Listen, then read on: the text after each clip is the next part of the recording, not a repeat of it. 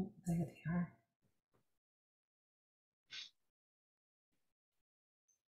Welcome, everyone. We are just going to give it a minute before we get started at the top of the hour, which is just coming on around.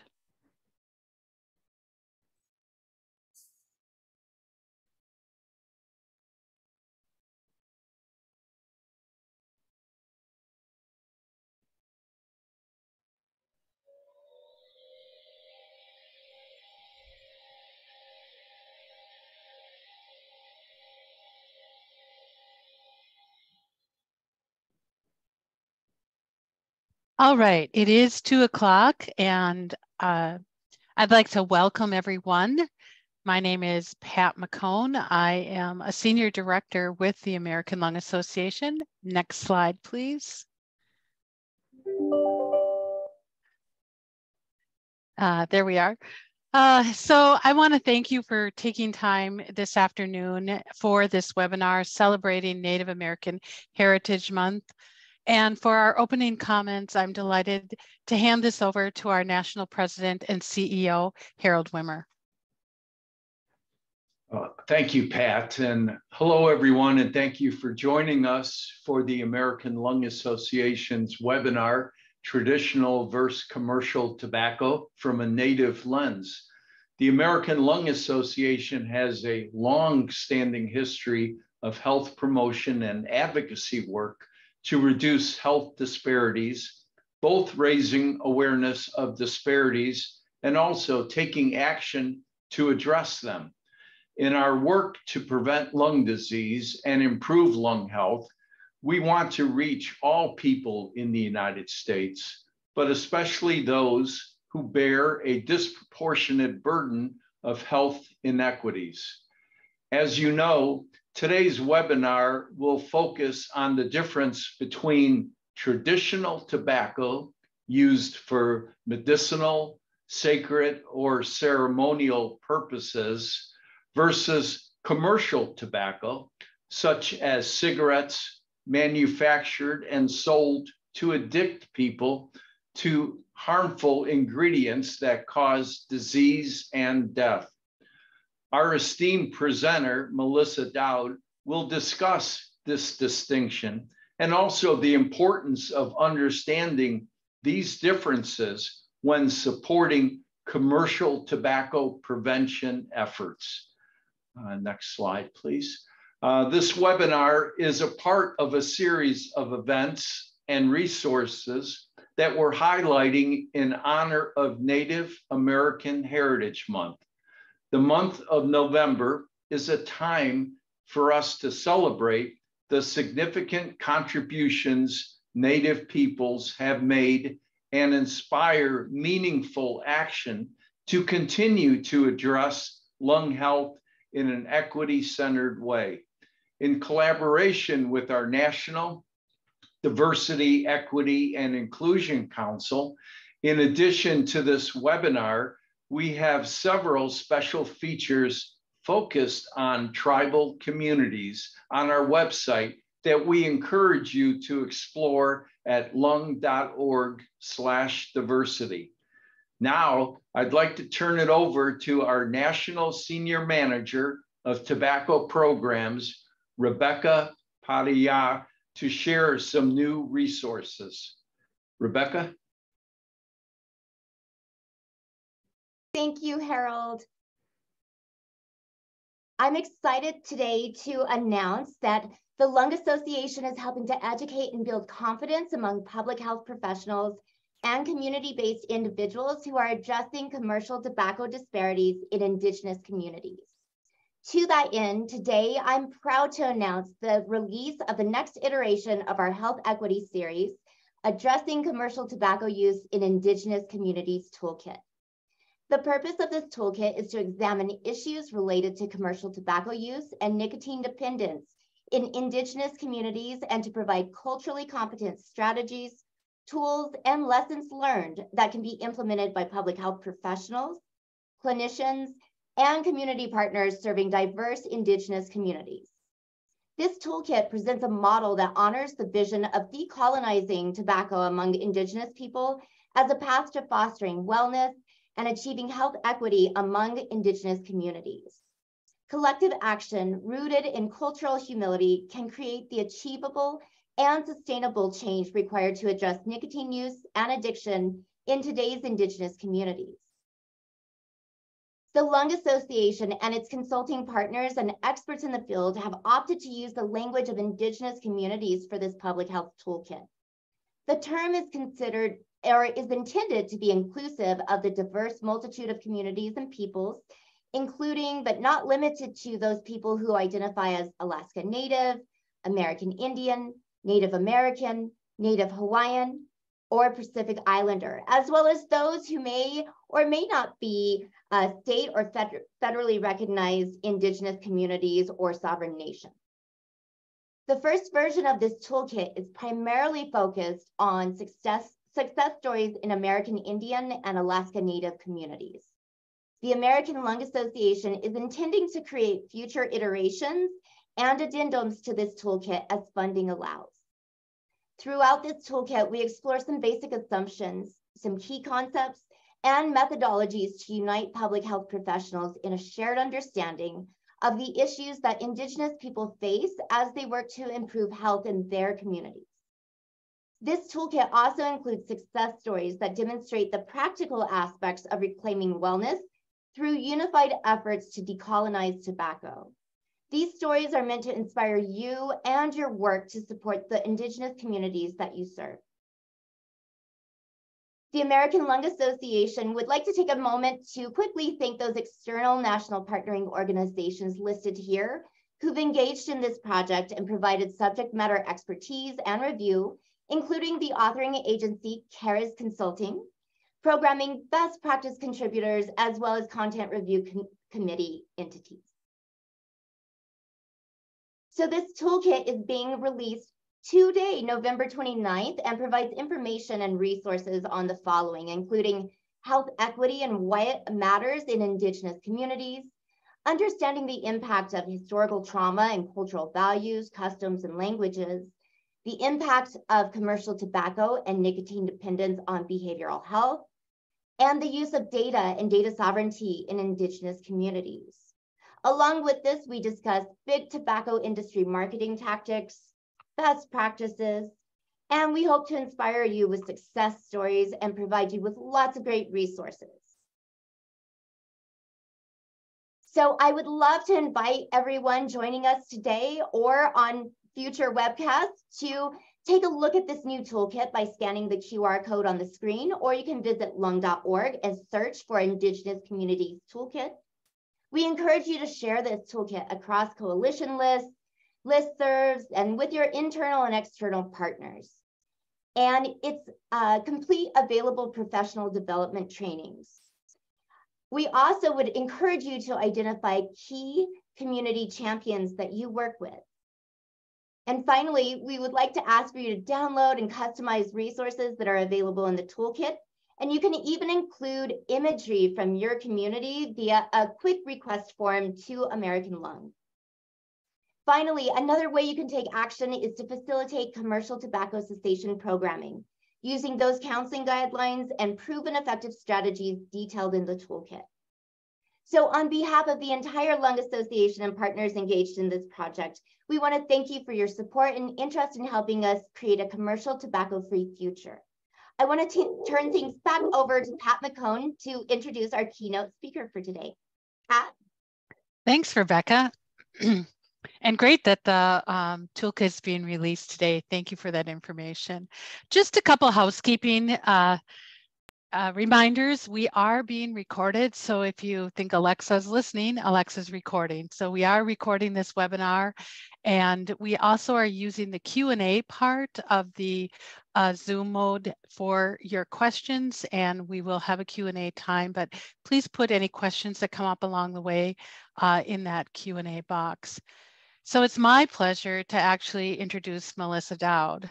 Uh, Melissa is a proud member of the Lac du Flambeau Bo Bo Band of Lake Superior Chippewa Indians in northern Wisconsin, where we're both situated today in the path of a beautiful snow that's coming down.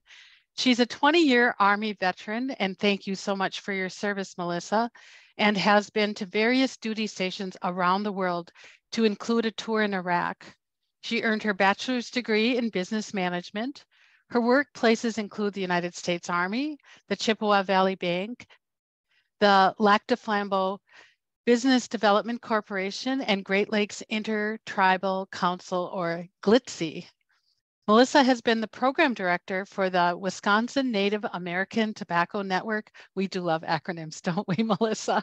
Uh, uh, and GLITC since November of 2020, where the mission is to enhance the quality of life for all Native people. She successfully has built a network of seven Native uh, representatives from various tribes in Wisconsin through her leadership and her engagement. And her welcoming personality, I must say. Along with representatives from each tribe, the collective group focuses on educating informing and providing the resources to Native communities about traditional tobacco versus commercial tobacco. Melissa is very passionate about the work she's doing with commercial tobacco prevention and control, and she's brought a new perspective through teaching and sharing vision through a Native lens. She has five children, one grandson, and a granddaughter on the way. Woohoo, Melissa. and she enjoys dancing at powwows, practicing her culture, hunting, fishing, hiking, traveling, and sewing. Thank you, Melissa, for sharing your knowledge and expertise and your passion with us today.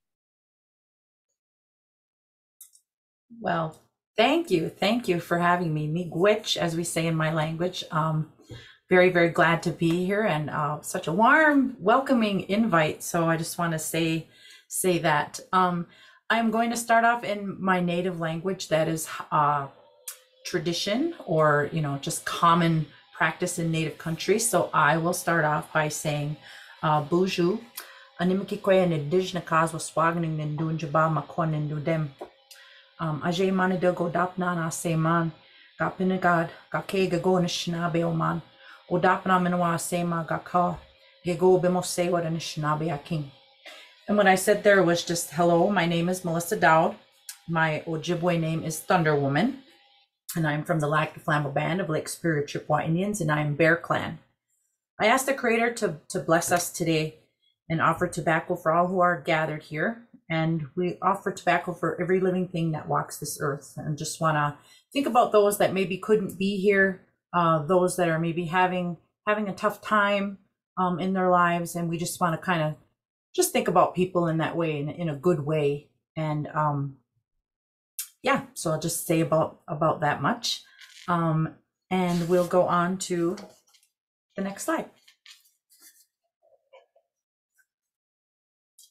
So we'll do a little bit of, of housekeeping. I just kind of like want to start off things in a very, very good way. I just respectfully ask you to just um, just stay engaged. And it is okay in this space to experience discomfort it's totally understandable. I'm probably going to share some stories that will, um, they're hard truths. And uh, so, as the next bullet is speak your truth, I will be doing that today.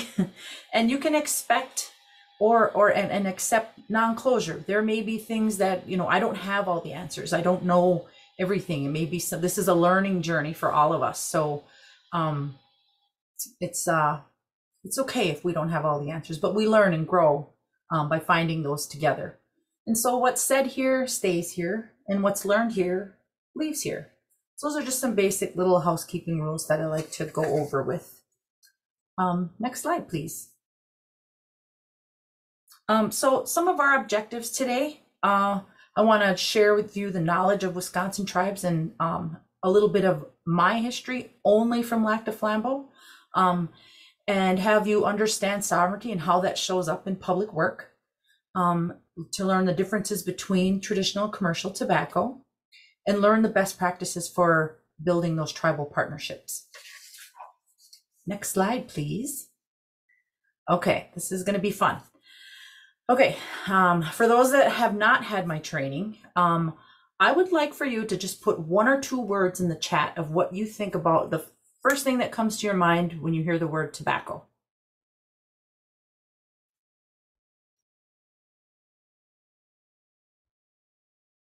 Okay, I see bad. Industry, bad breath, smoke, addicting, lung cancer, cancer, money, addiction, smoke, illness, smell. Okay.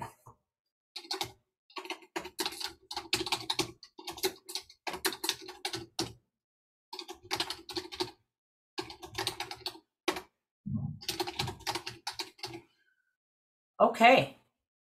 There's a whole bunch of um whole bunch of words in there. Now I'm going to share my words. So if everyone could just stop and pay attention to the chat. I'm going to put the words that I think of when I hear the word tobacco. So that's the whole point of today is to kind of get you to understand understand a native perspective. So when I hear the word tobacco, I think traditional and that it's sacred and it is an offering and we use it in prayer. And that is the difference between the commercial, which is harmful and gets you addicted, versus our traditional tobacco that we as Native Americans hold very, very sacred to us. Next slide, please. So this picture depicts the lands of the Native Americans in Wisconsin. For non-Indigenous communities, land acknowledgement is a powerful way of showing respect and honoring Indigenous peoples of this land on which we work, live, and play. Acknowledgement is a simple way of resisting the erasure of our Indigenous histories and working towards honoring and inviting truth. My tribal history is tells the story of Turtle Island of North America. And there's a legend and story that goes with that that I will share with you in a moment. So please take a look at this map if you are in Wisconsin. Um, uh, you can look and see where you live and play. Um, sorry, I'm my link isn't sharing. Um, I wanted to share the uh, the link where you can do the, the land acknowledgement, and I'll just share that um, at another time or after the presentation. Next slide, please. Um, this is a list of the tribes in Wisconsin. We have six Ojibwe bands, and then there's other individual tribes listed on there. And then we also have um, Brothertown, um, which is not fairly recognized, but we do acknowledge them. Next slide, please. Okay, this is a fun part. so I'm going to tell a story of Turtle Island. Um, to understand Ojibwe people, one must understand that our legends are sacred and they form a basis of our spiritual beliefs. We have a primarily oral culture where our legends have been passed down through the telling of stories. We refer to ourselves as Anishinaabe, which means original people. One legend is the creation of Turtle Island, which represents North America. And we are we see ourselves as the original people of North America. And the legend is as follows.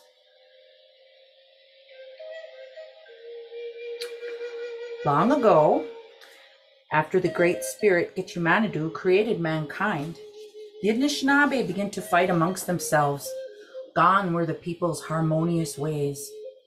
Seeing that the people had lost their peaceful ways, Gitchimanadu decided to cleanse the earth by bringing about a flood that drowned the Anishinaabe people and most of the animals. The only person to survive the flood was Winnebuju, who was a trickster, and a few of the animals that could swim or fly. Winnebuju floated on a log and searched for land, but none could be found. Winnebuju allowed the remaining animals to take turns resting on the log. And Winnebuju said, I am going to dive to the bottom of this water and grab a handful of earth. And with this earth, we can make a new land on which to live. Winnebuju dived into the water and disappeared for a long time. The animals waited. They thought that he had drowned. Finally, Winnebuju surfaced, gasping for air, and muttered, The water is too deep for me to reach the bottom. Then Mang, or the loon, spoke. I can dive deep into the water. That is how I catch my food. I will try to make it and return with some earth in my beak. Loon dove into the water and after a long while returned to the surface, weakened and out of breath, and said, I could not make it. There must be no bottom to this water. Other animals tried. Jingbizis, the hell diver, Jungwesh, the mink, and Majike, the turtle, but to no avail. The other animals tried too, but no one succeeded. Then a soft, muffled voice was heard to say, I'll try. To everyone's astonishment, they looked to see who had just spoken, and it was Wajashk, the muskrat. Again he repeated, I can do it. Some of the animals mocked the little muskrat, and when Abuju reminded everyone that only Gitchimanadu can place judgment on others, Wajash the muskrat must be given the opportunity to tribute.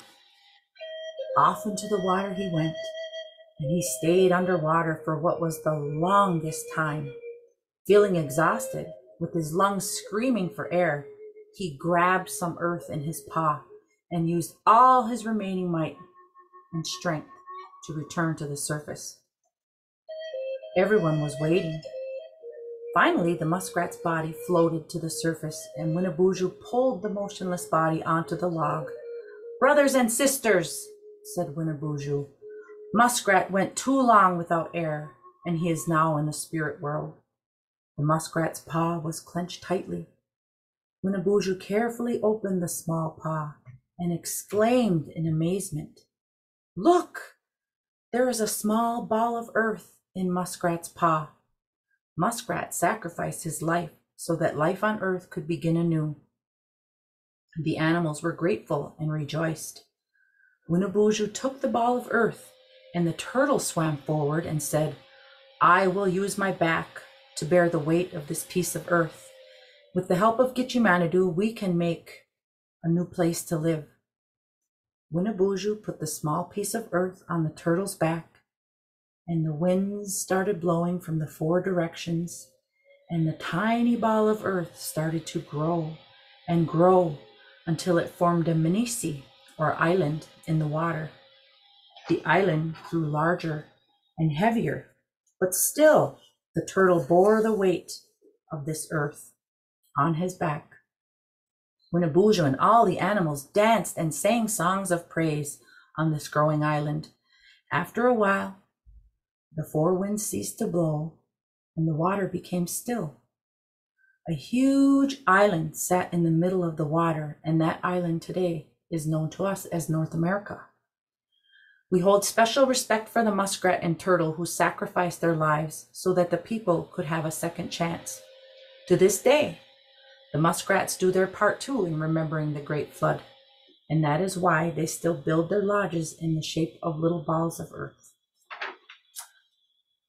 So that's the story of Turtle Island. Next slide, please.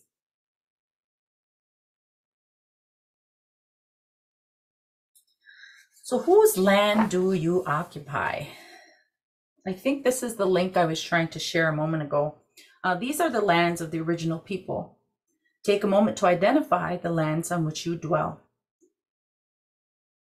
As we become more aware of exclusivity in the workplace, it is important that we pay respect to others, such as using pronouns as common practice. If you're trying to think of something that you can do this month and from here on out, you could show respect to Indigenous people by simply adding a land acknowledgement in your email signature block. It is a simple way, but also a very powerful way to show respect. Next slide, please. So I'm going to tell you the little story about Lac du Flambeau. So Lac du Flambeau means lake of flames. And so many, many moons ago when the uh, when the fur traders first started coming here, um, at nighttime, they could see these little balls of fire on the water. And they were curious about that, wondering what what was that? What does that mean? What what's going on? How is there fire on this water? And so you'll see in this picture that many many moons ago, um, we used to make birch bark canoes and have the fire pots on the end. And what that did with the fish, the walleye during spawning season, was it made their eyes glow. and it was easier for us to spear the fish and that's what we still do to this day as, as harvesting and yes that's a picture of me i do practice our our treaties and our cultural rights so that's just a little history on lac du flambeau and so our band had inhabited lac du flambeau since um, 1840 or 1745 when chief kishkaman led our band to this area our tribe has a seven clan system, and each clan has roles, talents, and responsibilities to contribute to the overall well being of the entire nation. There are seven primary clans of the Anishinaabe people loon, crane, fish, bird, bear, marten, and deer. And many moons ago, Kishkaman had told us um, when we were kind of moving to go where the food grows on water. And what that meant was we finally settled where um, the wild rice beds are, and we still practice our wild ricing to this day. We don't buy any of that Uncle Ben stuff. We harvest it around uh, September, and it's a long, like seven to nine step process to to harvest and um, prepare wild rice. And so um, you'll see that in this picture too. That of course we have we've um, we've adapted and migrated, and things change over time. So we don't necessarily have the fire pots on the end of birch bark canoes, but we have the headlamps and the and that's how we kind of spear our fish and gather. So next slide, please.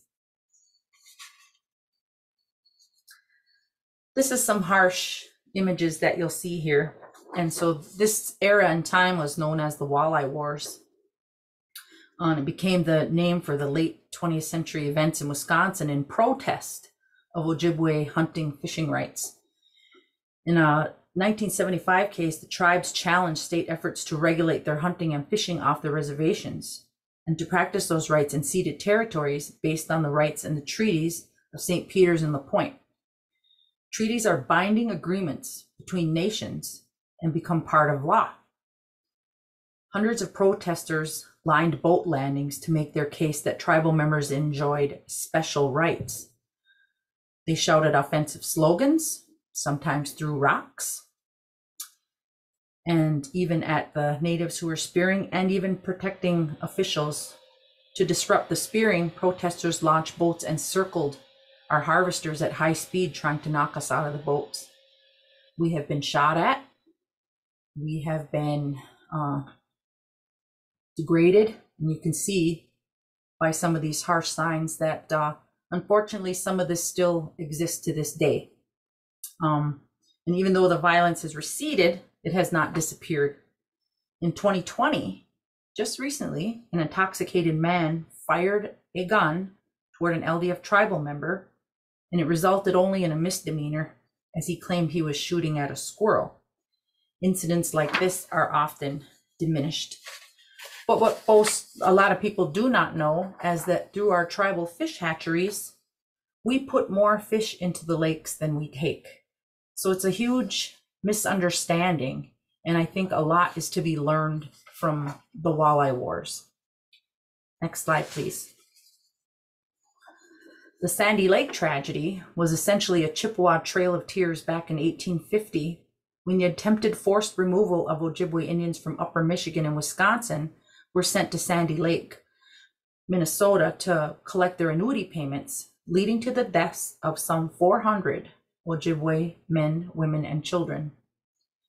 The event that went long without commemoration. For 150 years, it was forgotten by many and is still not something widely discussed or known about today. 12% of men, women, and children died during that time. This is why natives are so cautious. There is a history of genocide. Since the arrival of the first ship to the New World, native populations have had a hard go at survival and maintaining our way of life.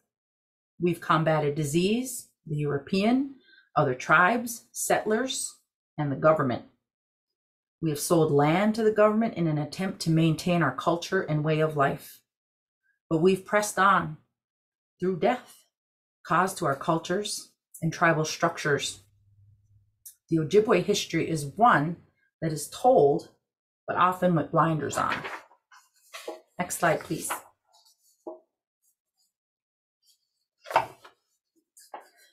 Pictured here, you will see the Lac du Flambeau Boys Dormitory. It's boarding school.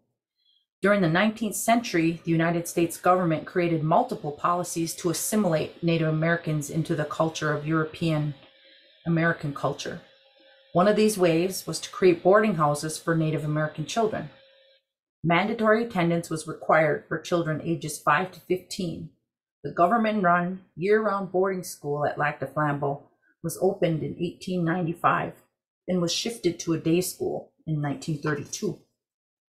Most of the children at Lac du Flambeau were Ojibwe. Native children were ripped from their families and Christianity was forced upon them. One in four children died during the boarding school era. Data shows that 50 to 75% would not reach adulthood or even um, after being returned to their families. There's an entire generation of lost children. The Ojibwe language was beaten out of us. My great grandmother went to this boarding school and told me of days when she and others were punished for speaking our native tongue. This resulted in historical trauma that is still embedded within us today. This form of genocide has caused mistrust, fear, and hesitancy in developing relationships with non natives. We have prevailed, and we are still here. Lac du Flambeau has revitalized this once eyesore and harsh reminder of dark days into our historical preservation office. Our Ojibwe language is being revitalized, and native crafts such as birch bark basket making, tanning hides from hunting, and moccasin making, and beading, to name a few, are now being taught on a regular basis. What once was supposed to abolish us is now a place where we flourish. We are a prosperous and resilient people. Next slide, please.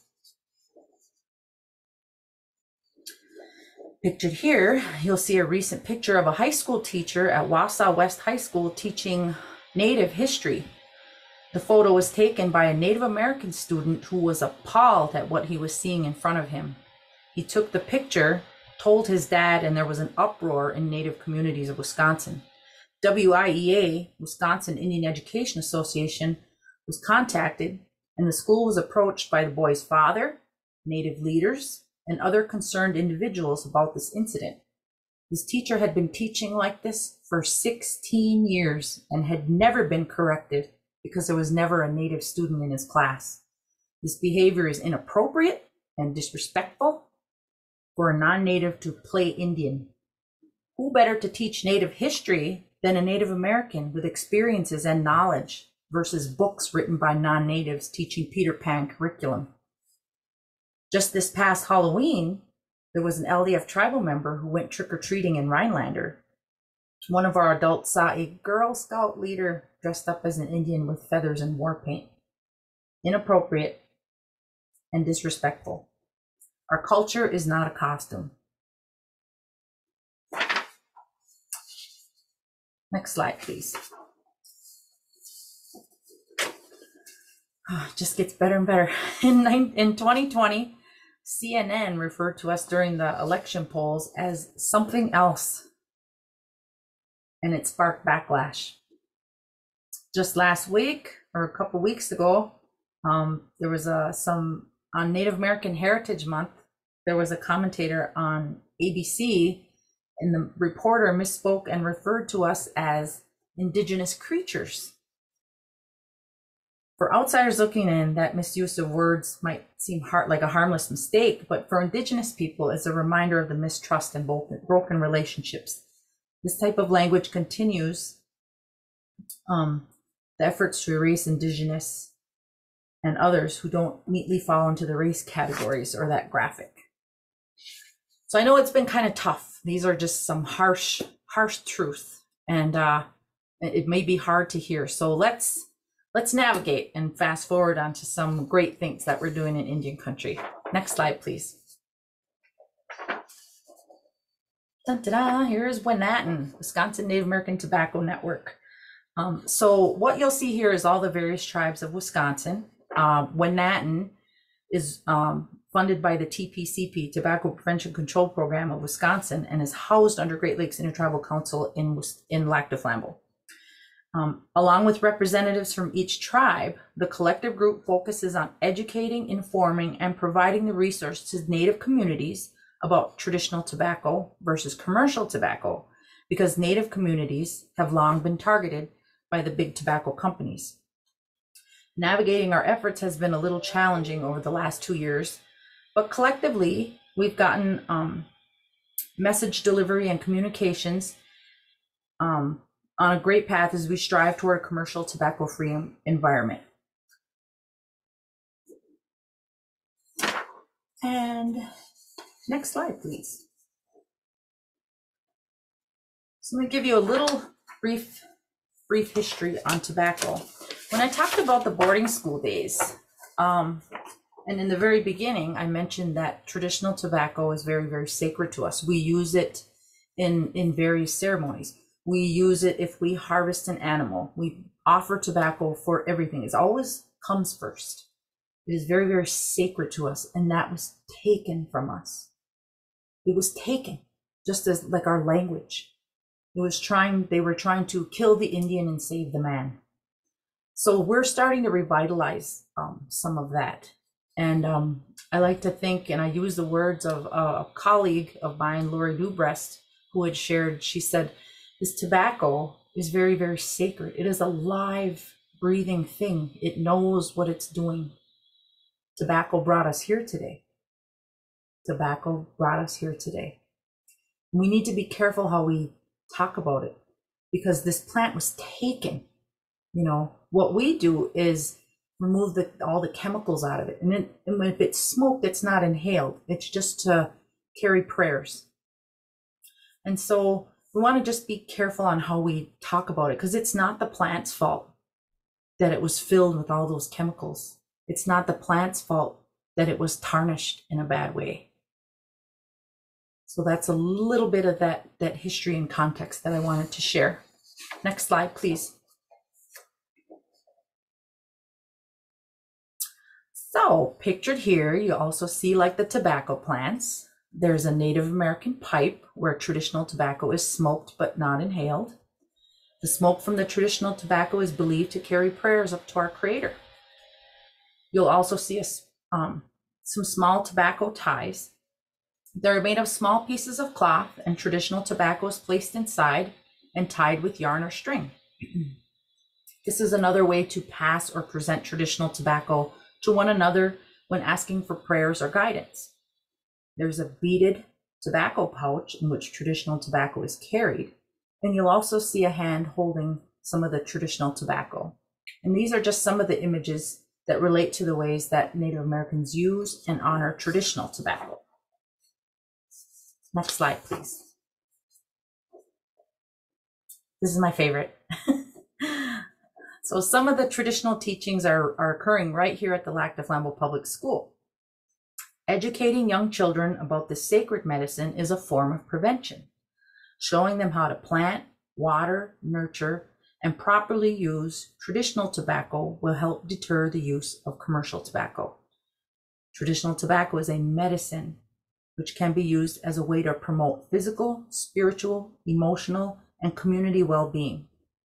Combining these teachings, consistent communications, and messaging to youth is an important part of our prevention strategy. American Indian and Alaskan Native youth have higher rates of commercial tobacco use than any other race.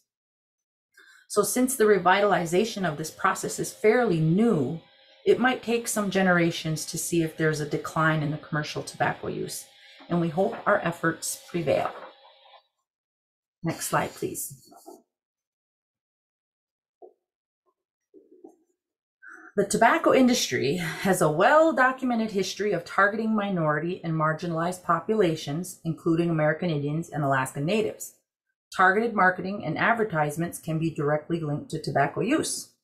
Red Man Chewing Tobacco has been targeting American Indians and Alaska Natives since 1901 by drawing the mystique of Indianness with an American Indian chief and Native American headdress images, for example. This imagery and symbolism was carried well into the 1950s and even today. Although tobacco has cultural significance, romanticized images of American Indians and Alaska Natives have been used for decades to market and sell commercial tobacco products in order to portray them as a natural and spiritual experience. These tactics not only misappropriated indigenous culture, but also reinforced harmful stereotypes of American Indians. Prominent tobacco company Natural American Spirit is a primary offender. Next slide, please. So I'm going to elaborate a little bit on some of our collaborative successes that I've had with, with the state and coalition building and partnerships. it's not a comprehensive list of everything, but it showcases huge strides toward health equity. This is an acknowledgement of a foundation that we have built and continue to build upon. Acknowledging sovereignty is a very important one. We have we as tribes have our own unique relationship with the government and the state. It's like we are a state within the state. We have a government to government relationship. Relationship building can be difficult in Indian country. We've successfully developed work groups and had some powerful meetings to move our work forward. By adding a cultural training and tailoring to fit our work, everyone wins. It can't be a one and done, and so we have to keep it consistent. In building successful relationships, we're in the phases of making some policy changes. Our casino has gone smoke free since COVID. There are roughly 26 tribal casinos, and two casinos are not smoke free yet. And I emphasize yet. We're working on getting them on board, and the goal is to have all of our tribal casinos in Wisconsin commercial tobacco free. Clap. This feeds into our engagements with our housing departments um, to help develop some smoke free housing policy too. It's a huge challenge, but I'm up for it. Next slide, please. So in the last couple years, we've really been promoting our American Indian Quit Line. So this Quit Line campaign is is pretty new, but I've been really, really pushing this number. And um, when I came into this position, it was empty for eight months. And I also came in during COVID. So needless to say, it's been very, very challenging to navigate the program. But I built a Winatan network of seven tribes, and we've gotten creative in our outreach methods. So our, this quit line's been like our biggest push. Uh, we've taken this flyer and in partnership um, with our local housing authority, they placed this flyer into all the bills that go out every month so that this um, phone number was getting into tribal homes. And we also implemented uh, some media outreach, radio, social media, um, radio ads, um, strategic placement of these billboards on or near tribal um, reservation and tribal lands. And as of just like literally, as of just like two days ago, I had the American Indian Quit line um, on the videos at our gas pumps at our store. So that took some effort, but yeah, so kudos for that. Next slide, please.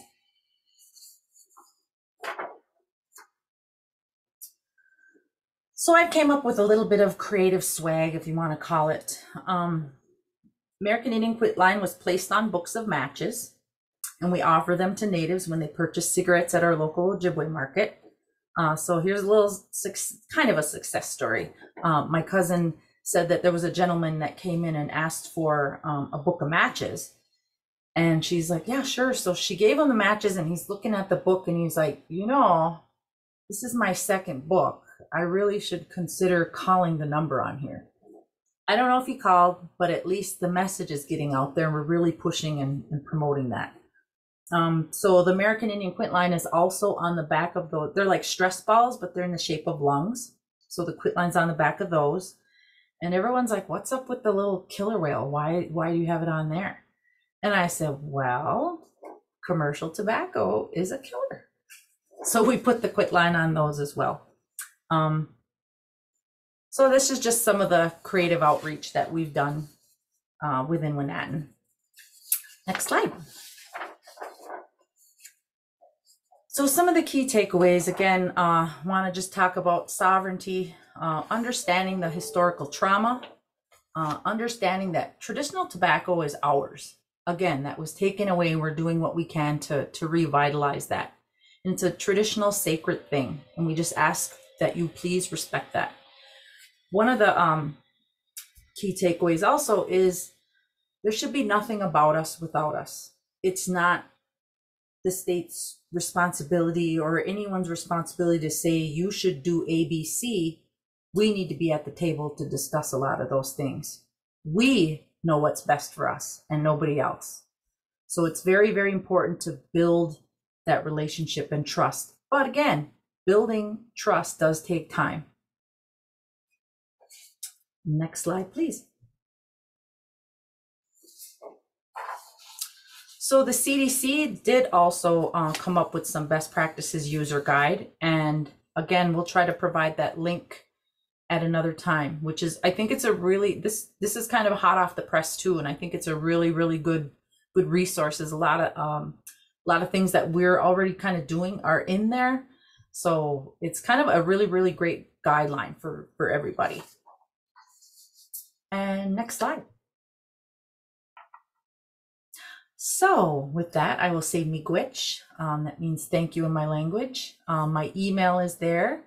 And I just want to share that. Um, please feel free to reach out to me. I, I am in this space. I am here for you. I am here to help.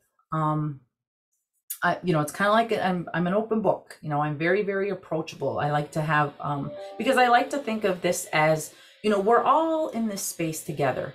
I think we all have the same kind of common goal, and that's to kind of just help get rid of all the commercial tobacco. So, um, we'll just leave this open for some questions, comments, discussion, and I'll turn it back over to Pat. Thank you. Thank you, Melissa. I'm I'm applauding virtually and in real. so I know that uh, big webinars and Zoom are a little different, but thank you so much. Thank you for speaking truth. Thank Mhm. you for setting the stage about um, some of the his, historic trauma that's occurred, and um, and your your sharing of the stories. Very very important. So uh, I definitely want to thank you for that. Uh, I'm gonna think you uh, it's a natural like transition to uh, a question that I, I put on kind of ready for a question. So I imagine there's people on the call that really don't have any contacts with tribes in their region and they'd like to reach out and you know partner.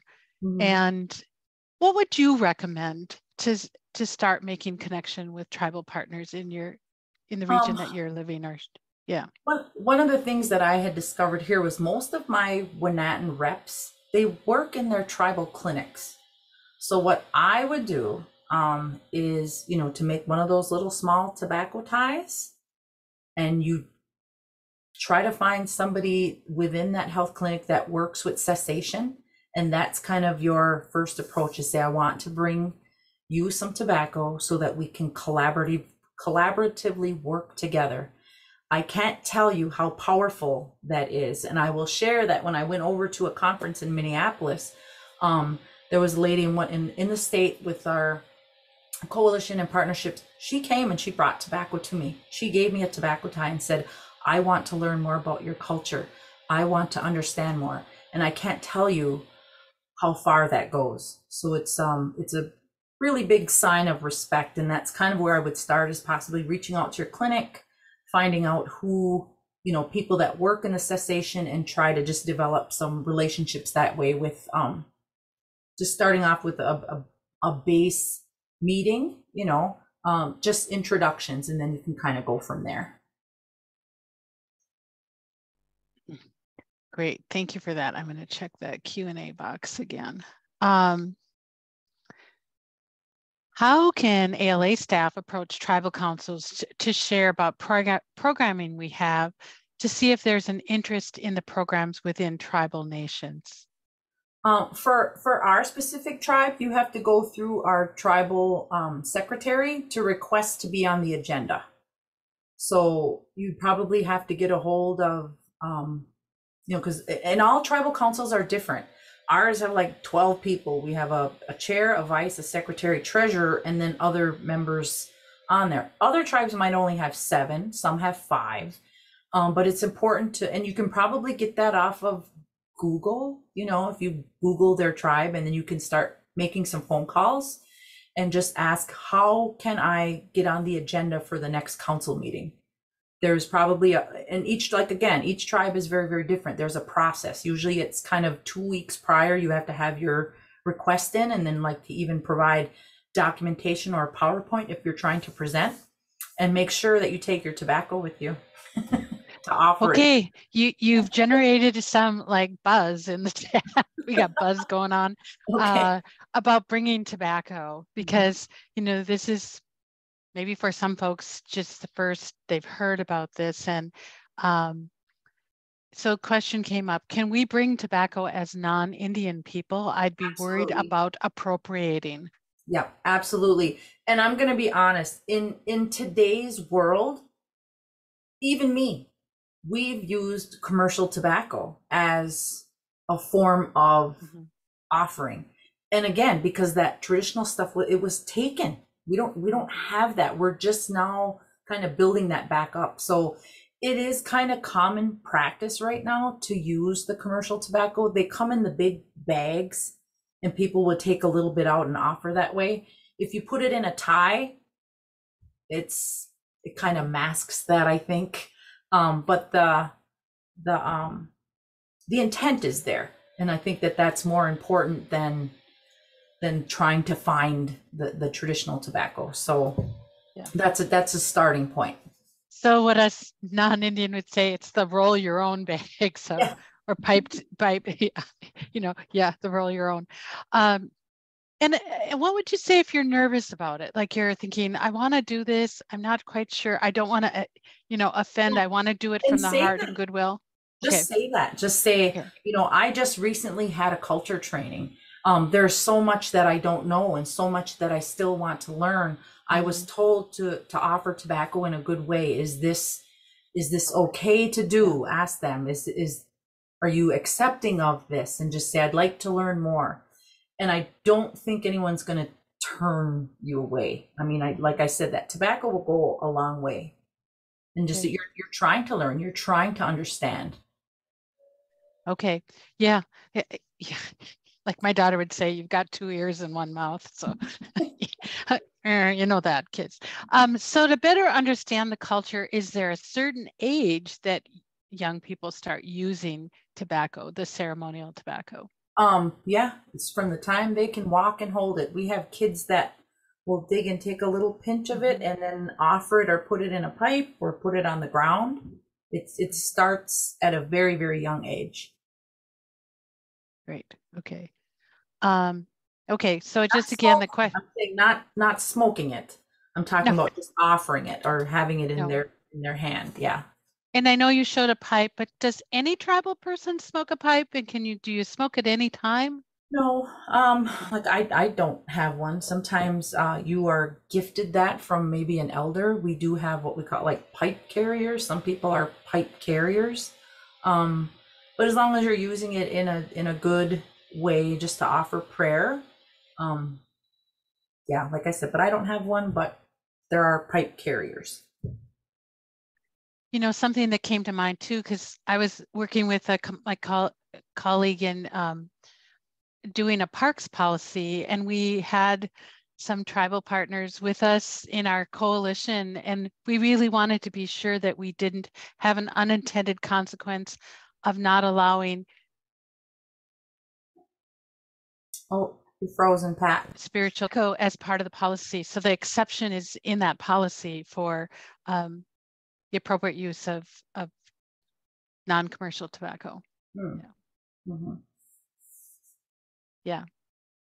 Um, same with carrying it in the schools. I believe that there are schools that have policies that a indigenous person can carry their tobacco with them. Mhm. Mhm. Okay, so are there any oral or throat cancers associated with native use of traditional pipes I do not know the answer to that. that I know? No. Yeah. I don't I don't even know if there would be there might be data on it, but then there's that data sovereignty thing and those are um like HIPAA, Mm. you know, can't really Mhm. I don't know the answers to that, and, and I don't Yeah. know that I would be able to find the answer to that. Mhm. So Christina, I think Hamilton, you wanted to, to jump in or maybe not? Nope. Nope. All right. All right. All right, good. Um, so I think we've covered most of the questions. We're going to give one more shout out there for any questions. I know I was going to ask one about data because that does get to be a lot of time we like to say, oh, can we do a survey? Do you want to do a survey? But you, you know, you mentioned data, but maybe talk a little more about any approach around data. Um, you probably would definitely need to get permission before doing any kind of survey. hmm Um, again, that's that's And what about releasing the data? What about releasing the data? that would be up to like each um tribal council. Yeah. That's that's kind of a Okay, is the time can be touchy. Um, I, I- yeah, I, I I hear you there. um, hold on just a second. I'm trying to find my. Okay. And Pat, while we wait for Melissa, there are two questions left in the Q and A. One is, where would we find non-commercial tobacco to make a tobacco tie or pouch? And is there a Minnesota organization parallel to WNATN? I'm I'm not Oh, sure. where would you find I- non-commercial? Yeah. Um that would just depend tribal on member. your location, finding a tribe that may have some. Um yeah, that might be a little bit of a process too because you know, common practice again is um just using the com- the commercial tobacco in the bags to make ties. hmm Yeah, we were gifted some by an elder from a tribe that we've shared, Mhm. um, and then acknowledged that the source was this elder. Uh, is there a parallel organization in Minnesota to Wanatin?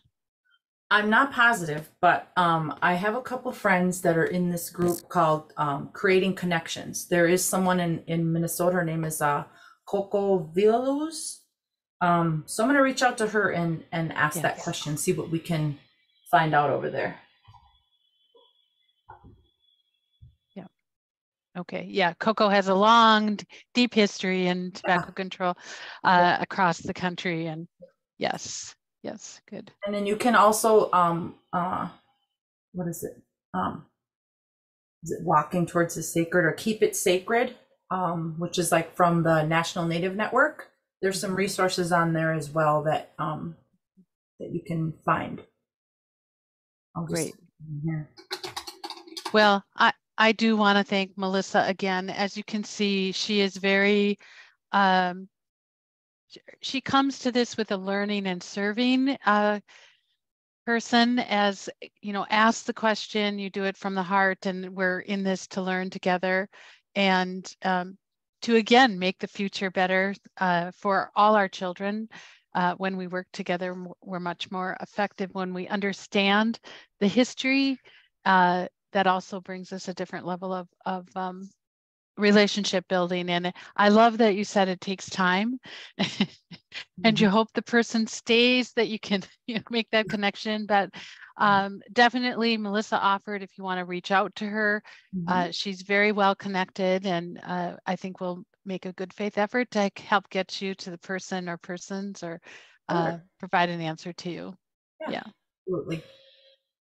Thanks so much for joining and take care, everyone. Uh, stay safe, Melissa, in the snow. And uh, It's coming down. yes, it's coming down. All right. Thanks, everyone. Thank you. Mm-hmm.